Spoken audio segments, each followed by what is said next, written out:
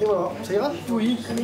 Il y a six ans, Jésus Lopez, boucher, s'est installé dans le petit village de La Valette. Mais depuis quelques mois, l'artisan s'inquiète pour l'avenir de son commerce. Il y a trois salariés et, et bon, on n'avait pas besoin de ça.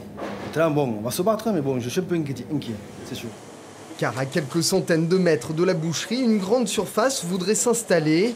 Dès l'annonce du projet, la résistance s'est organisée au village, avec l'épicerie comme point de ralliement. Les gens sont venus s'installer à La Valette pour avoir un cadre de vie euh, de village et pas avoir des grandes surfaces que l'on trouve quand même à 5 minutes de chez nous.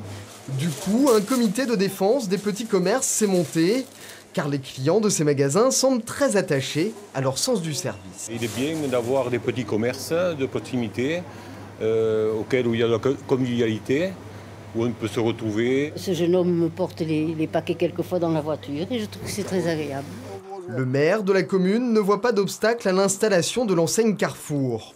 Pour lui, cette offre sera complémentaire de celle des petits commerçants. Eux également bénéficieront de la venue des gens à la grande surface qui s'arrêteront chez eux pour euh, compléter, euh, compléter leurs courses. Chez Carola, il y a des crustacés, etc. Chez le boucher, il y a des bons plats cuisinés. Donc tout ça, au contraire, je pense, va développer le, leur activité. Le maire annonce déjà qu'il signera le permis de construire. L'ouverture de la grande surface est prévue d'ici la fin 2018.